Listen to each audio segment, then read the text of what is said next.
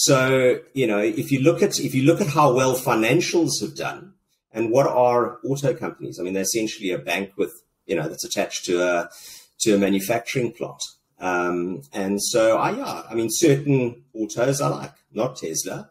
Um, not buy Ferrari or some of those things, but you know, it, on a stock pickers, you can dig in and you can find the jewels. Just trying to find the good stuff. Well, I love having my conversations with Sean Peche of Ranmore Funds. You never really know what's going to come up next, uh, whether Sean's going to talk about performance fees or indeed those surprises that we ended last year on. We're going to be looking at some of the surprises and how they have worked out. In other words, Sean's crystal ball. But then there's um, there's a few stocks that we missed that we should have been buying that Sean told us to. And uh, then we'll also um, look at his recent piece that he wrote on capital gains, why it should not stop you from making the action if you feel that a stock should be sold. Uh, Sean's coming up. He's with Ranmore Funds.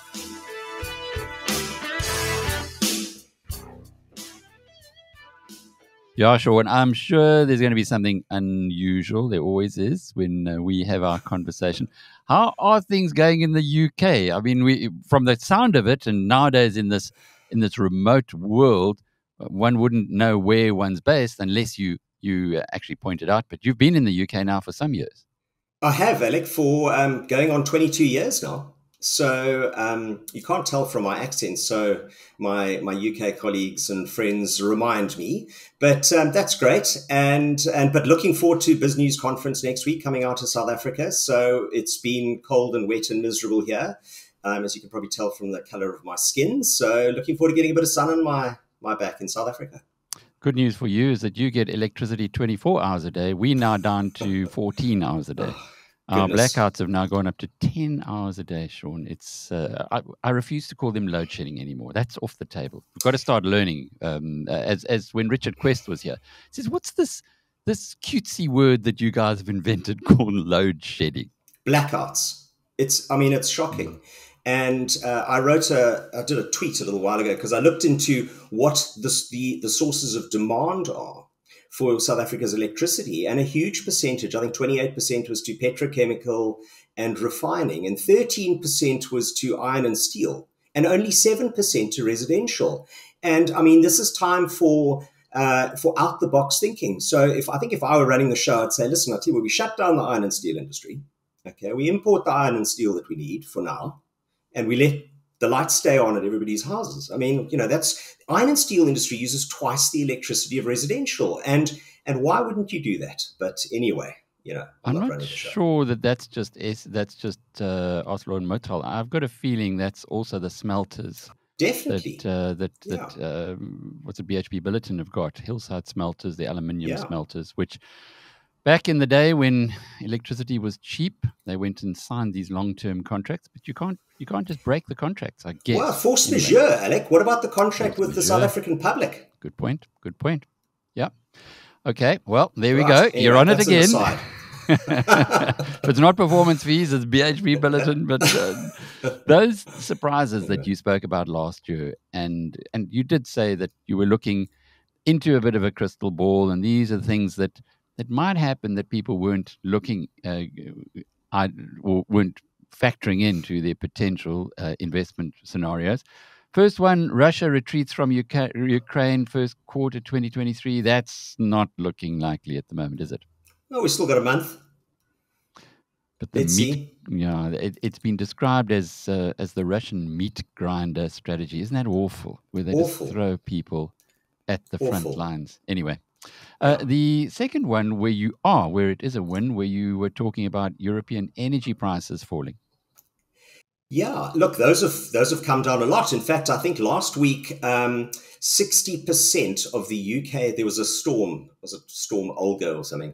Uh, sixty uh, percent of the UK's energy was produced by wind and it's been pretty mild. Friends I know who've just been skiing. There was no snow last week. The, it was 11 degrees at the top of the mountain. You know, they're sitting there at these uh, ski chalets, and uh, and so it's been quite mild, and prices have pulled back. And so it often happens that that when situations unfold, people think that the status quo is going to happen, is, is going to occur forever. And that's what we saw late last year. And if you can just look beyond that, and say, well, is this short term in nature? Is it likely to be short term in nature? Then maybe there's an opportunity. And um, I didn't think that energy prices would come back quite to the extent that they have. Uh, but it just shows you that when you get a combination of you know, ingenuity and luck with the weather, um, you know, those the the German Germany is an amazing country, and those people are very innovative and they're full of engineers. And so you look at what they've done on their LNG imports, couple that with some warm weather, and all of a sudden that they've weaned themselves off Russian gas. So they've outfoxed Mr. Putin. They no longer need him, and uh, good for them. And, and so, big, you know, big big moves like that, Sean, uh, impact the investment portfolio or the investment they, scenario. They do. You know, we had. I mean, we did very well on some uh, late last year, you had some, and you mentioned Associated British Foods. I mean, it was a, a UK retail, and people were throwing babies out with the bathwater because it was you know, energy prices were up, mortgage rates were up. People thought, well, UK consumers not going to ever shop again. That was almost what was priced into some of these companies. Well, of course, that's not true. Um, and so, you know, when when we've learned, we know the rule. When others, uh, when when um, be greedy when others are fearful and so it was time to be greedy. So sorry, we didn't put Associated British Foods into the BizNews portfolios. There are a couple of others that you told us about that we missed, but we won't miss the next one, Sean. We won't miss the next one. Yeah, I don't uh, get them all right, Alec. Remember that. US mega caps. You yes. were very, you were spot on with that. Uh, Apple, Amazon, Tesla. Uh, that they had fallen sharply in December. Tesla, in particular, really yeah. fell out a bit. But then we had January. We had the January jump. So what's happening there? Well, look, I think there's a lot of guessing going on. You see, what happened is is those large cap tech companies fell when interest rates started rising, and the reason for that is if if you think Amazon's going to give you hundred dollars of earnings ten years out, and there's no inflation and interest rates are low, well, those hundred dollars of earnings are worth hundred dollars in today's money. But if as soon as inflation starts rising and interest rates start rising, that hundred dollars 10 years out is no longer worth $100. Okay.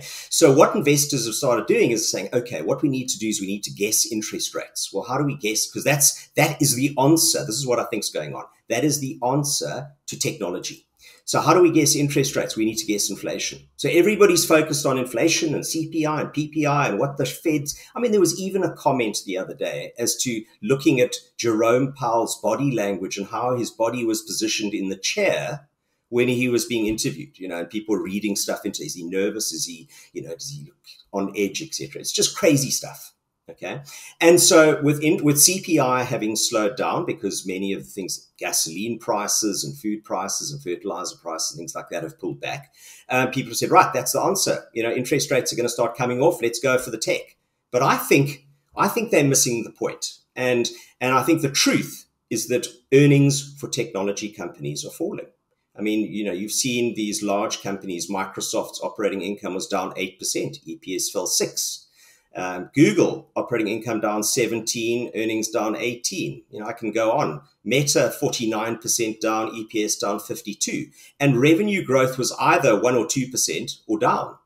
And so that's the truth. It's a bit like we've got six nations going on at the moment. It's a bit like watching wait, watching the back line, thinking that the fullback is going to intercept and there's going to be some move in the back line, and then the scrum half runs around and dots the ball on the blind side.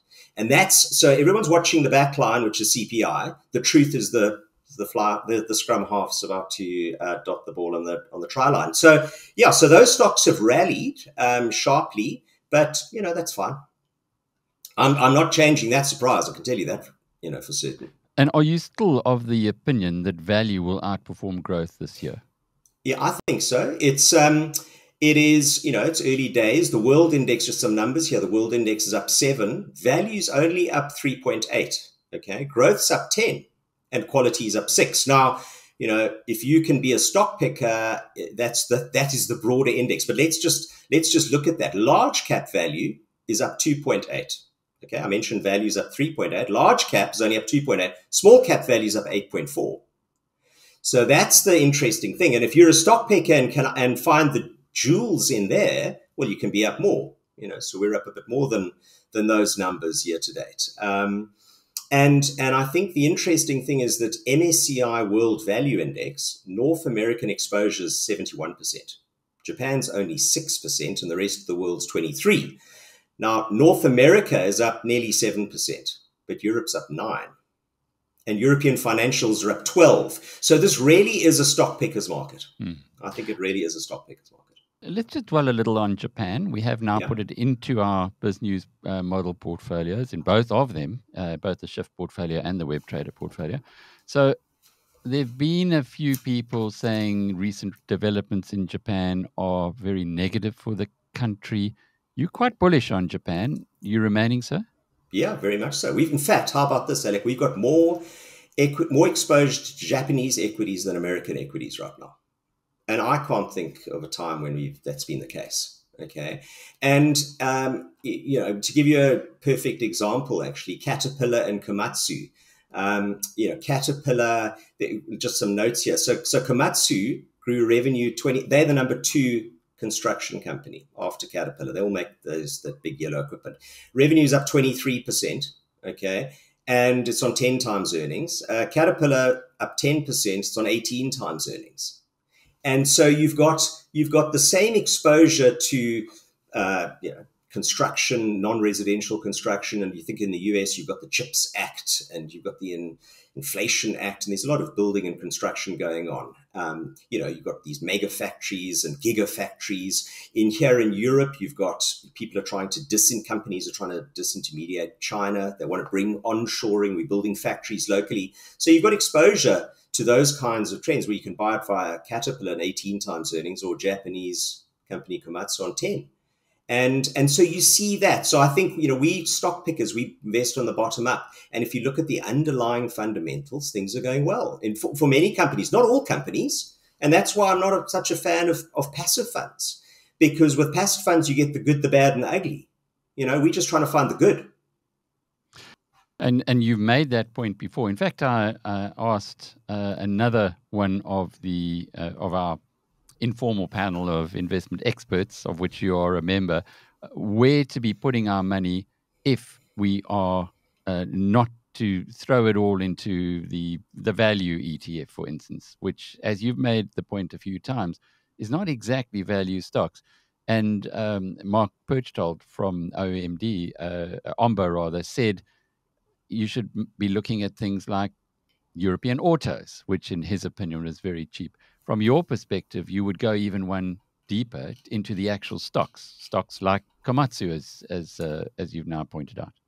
That's correct, Alec, and and I agree with Mark. I know Mark; he's a friend of mine. He's a good guy, um, and I agree with him on those autos. Now, just to give you an example, I mean Tesla is one of the biggest winners here today. It's up what sixty nine percent. Interestingly, if I look at the world index, number eight on that list is Renault. It's up thirty five percent year to date. Okay, it's up 50% since we spoke about it, I think, at the at the BizNews conference. Now, now Tesla's revenue was up at 37% in the latest quarter, and earnings are up 41%, but it's on 50 times earnings. Okay, Renault's revenue was only up 11, but earnings were up 61. So actually, Rev, uh, Renault's rev, uh, earnings per share grew faster than Tesla. Now, this is only for the latest reported period, but 40% of Renault sales are EV and hybrid, and they've got a record order book okay, and their growing operating margin, it's on five times earnings. So, you know, if you look at if you look at how well financials have done and what are auto companies, I mean, they're essentially a bank with, you know, that's attached to a to a manufacturing plant. Um, and so, I yeah, I mean, certain autos I like, not Tesla, um, not buy Ferrari or some of those things. But it, you know, if, it, on a stock pickers thing, you can dig in and you can find the jewels. Just trying to find the good stuff. So Komatsu is one for our, our list. What? Renault is one for our list as well. Alec, you know, I can't give advice. I'm an active manager. So if Renault was to go up 50% tomorrow and some other companies would fall, you know, you can bet your bottom dollar I'd probably be taking some profits. I mean, that's what, you know, we're an active manager. I interestingly, you know, there's two ways to uh, to, to well, there's, there's more than two ways, but but you can get you can try and find the next jewel and the next Amazon, the next Apple, and hold it forever. Okay, I don't do that because trying to find the next Apple is really hard. You could have thought could have thought Nokia was the next Apple. You could have thought BlackBerry was the next Apple and been wrong. Um, or what you can do is you can find those companies that you think are underpriced, and when they're fully uh, fully valued in your view, you take your profits and you find and you reinvest it elsewhere, and so you compound that way. and that's what I do. Um, so I can't give anybody advice. I don't know what anyone's you know portfolios alike etc all i can say is we have um, i mean we have nearly what 45 50 companies or so in our portfolio average positions just over 2% 2.5% and so right now we're happy with that position but i would hate for anybody to take one of these ideas and think oh well sean got abf right you know, he's going to get Komatsu right and put their entire pension in it. You know, that is not what we do. So, um, you know, we have Renault and we have Komatsu in the portfolio and lots of others. Um, but, um, you know, it's a balanced portfolio, we think. That's a very good point, that one. And anybody who's read one of my favorite investing books, Engines That Move Markets by Alasdair Nairn, uh, would know that the point you make of trying to find the next Apple is a fool's errand what he does in that book is he, he takes all the big new ideas, all the big ideas from uh, telegraphs and railroads through to the internet. And in all of those, he says to pick the winners is just about impossible because you there are so many companies that are involved in that process. Even, for instance, if you bought AT&T, Alexander Graham Bell's company, at the wrong time, you would not have made money out of it, or yeah. you would have underperformed the market. So picking the winners is difficult. Your strategy or your approach, as I think you've you've outlined to us many times and now reiterated, is that you look for value mismatches where, like Warren Buffett says, if something if you're getting sixty cents on the dollar, well then that's a good investment. Um, whereas most investors try to get uh, 150 cents on a dollar that's already valued at 120. Absolutely, Alec. It's a bit like cricket. You know, if you go out and you try and hit sixes off every ball, you're going to get bowled. You know, you want to try and hit ones and twos and odd six, and that's how you win matches. Um, so that's what we try and do. Brilliant. Well, we have spoken about Japan. We um, haven't spoken yet about value beating growth for the rest of the year. There are some people who saw the January jump and said, well, growth stocks have been hammered for a year and a half this is the end. They're now sure there wasn't capitulation, that usual ringing of the bell at the bottom, but they're now going to be uh, outperforming into the future. In a nutshell, what is wrong with that argument? Well, I think the problem is if you just look at those companies, especially those large guys, okay, that I mentioned, all the tech companies, they're all eating each other's lunch. And uh, and the latest one, you know, the latest one is Microsoft's trying to eat Google's lunch with this Chat GPT. And if you think, you know, Amazon's in advertising, well, it used to be Google's domain and and Meta's domain. Um, and and then Google moved into cloud, or Alphabet moved into cloud, which was Microsoft and Amazon's domain. So they've all moved into each other, and, and Alphabet moved into you know sort of Pixel, which try and capture some of the market share from from Apple. So they're all eating each other's lunch because growth is so hard to come by and uh, and ChatGPT is the latest. And what did Sand, Sundar Pichai say? He said he said the search, the margin in search is over forever. Okay, now I don't want to bet against that guy. So why do I want to get involved in a fight with two heavyweight boxers? I mean, it's a, it's a, it's it's a, yeah. I, I mean, I wouldn't want to be a referee with Klitschko and Fury. Um, and I wrote a LinkedIn post about that the other day. So that is the problem that I see. And, and then you've got regulators getting involved as well. So why do I need to go and play there when I can find these little Japanese jewels and these little European jewels that are growing, you know, and, and the Renaults and all those guys who are growing earnings and they're not getting a big fight. So, so that's rather my approach. Sean, let's close off with capital gains. Yeah. And give us some insight into the piece that you wrote saying that you shouldn't. Many people don't like selling because they're scared of paying the tax on capital gains. You've got a different approach. Yeah, my approach, Alec, is quite simple. You know, there's there's a bit of an arbitrage um, that has been uh, people have been able to take advantage of and still can in many places in the world because if it's income tax, it's often at a higher rate than capital gains tax. And and I just think that to make a decision purely for tax is short sighted because that capital gains tax rate can increase. And and it, if you look at the government debt loads out there, it wouldn't surprise me if they do. Um, and and so I think one, you know, right, if you don't want to take profits because you think, well, I'm not going to to sell and I'll have to pay capital gains tax of whatever the number is. I think the marginal rate in South Africa is 18%. That's the maximum you will pay. Well, focus on the 82% you get to keep rather than the 18% you get to pay. And uh, and if you focus on that, then maybe the decision's a little easier because it would be terrible not to take advantage, pay the eighteen percent, then the the investment falls. Okay, and then you get, of course, then you get caught in a whole psychological loop where you think, well, I should have sold then, but I didn't, so I can't sell now. And then capital gains tax goes up, and before you know it, the gains are whittled away, and then the capital, and then the rate goes up. So I would just say, you know, just just just just focus on the eighty-two percent you pay that you get. Sorry, that you get to keep. Um, and you know what? Governments out there they could do with some money as long as they're not, they're not using it corruptly, fix the roads and you know pay for the healthcare and pay our nurses and all the rest. So I just think it's it's quite refreshing not to worry about this whole you know how much tax you're going to pay. It's a uh, it's miscited and and you're likely to pay more in the long term. Would be my suggestion. A rational insight from Sean Peche, uh, the founder and portfolio manager at Ranmore Funds. We'll be seeing him at the end of the month in the Drakensberg BNC five. Sean can't wait. It's uh, it's an incredible lineup this time around, and uh, you're going to be participating in a panel discussion with Piet Viljoen and Sy Jacobs. Fireworks, or do you think you guys are going to agree on most things? They're super guys. I'm sure we get on fabulously, Alec. We'll have a good debate, and the the winner will be the participants, the, the you know the attendees. Brilliant. Look forward to seeing you, Sean Peche. You too, Alec. I'm Alec Hogg from BizNews.com.